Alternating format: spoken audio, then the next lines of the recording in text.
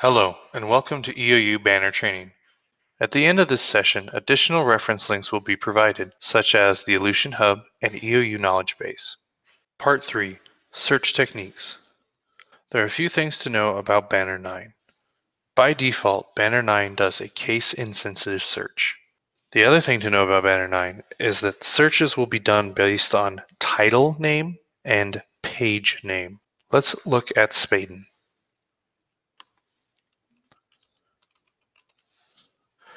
SPAIDEN has the page name of SPAIDEN, the title name of general person identification. Suppose you did not remember the page name SPAIDEN, but you remembered it was general something persons. So we search for general person. We will pull up all titles with the key phrase general person.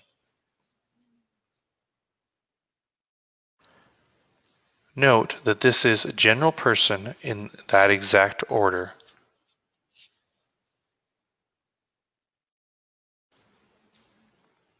To narrow the results, we can even do ID.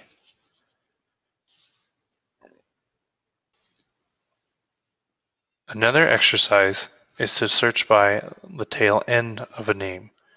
We know that SPAIDEN ends in A-I-D-E-N.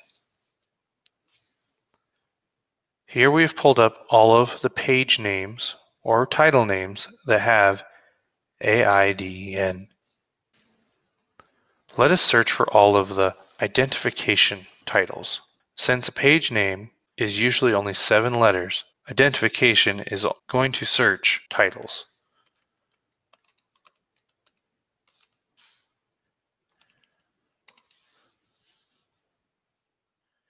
Here are all the titles that contain identification. Note that in some cases identification is the only word, the ending word, or somewhere in the middle. Perhaps you only remember a few parts of the page name or the title of what you are looking for. For example, SPAIDEN, we know has an SP, ends in an N. There are still too many results with our wildcard. The wildcard is indicating anything to match in between. Let us consider adding the D.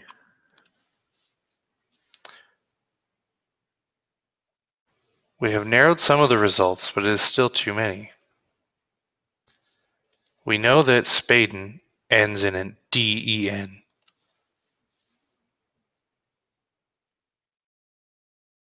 By adding the DEN, we have now narrowed our results. Notice that suspension email to students matches SP wildcard DEN. This is because suspension has an SP, students has a DEN. Correspondence also has an SP DEN, and so does SPAIDEN.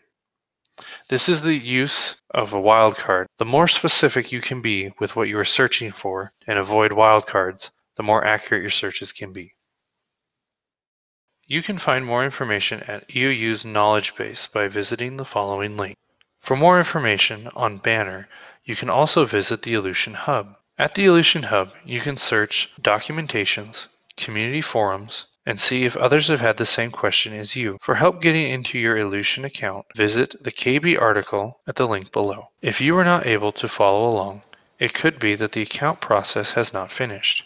In order to gain access to Banner, you need to sign the permission forms and your supervisor will fill out what access you need. These forms are then processed to create your account. You can read more details at the following KB link.